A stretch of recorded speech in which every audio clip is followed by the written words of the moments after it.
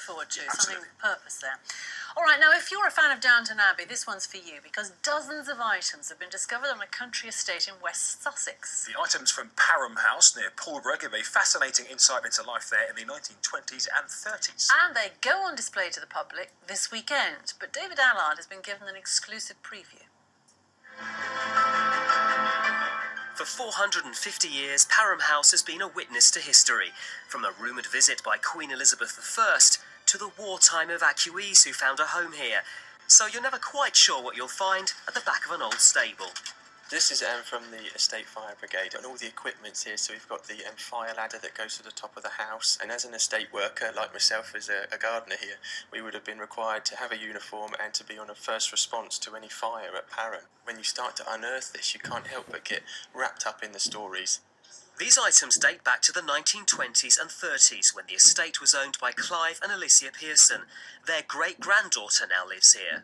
My great grandparents never threw anything away, and indeed, we keep coming across things and surprising ourselves. It's great. One of the most exciting ones, I think, was this little bag, which we did literally find a couple of weeks ago. And it's the bag that went up to London on the train from Pulborough. Letters would come back down to Parham in this bag, and I imagine that the station officer probably chuck it out of the train to the butler or somebody who went to pick it up we do have a number of toys, and there's a picture of actually my mother pushing this little elephant. It's very, very sweet.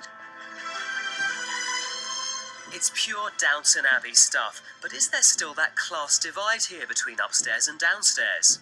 Not so much of a hierarchy. I think we all kind of muck in now to, to make do, and I think in in the 20s, 30s, you had everybody with a very specific role, and uh, now everybody just mucks in and does what needs to be done to, to make the place tick along.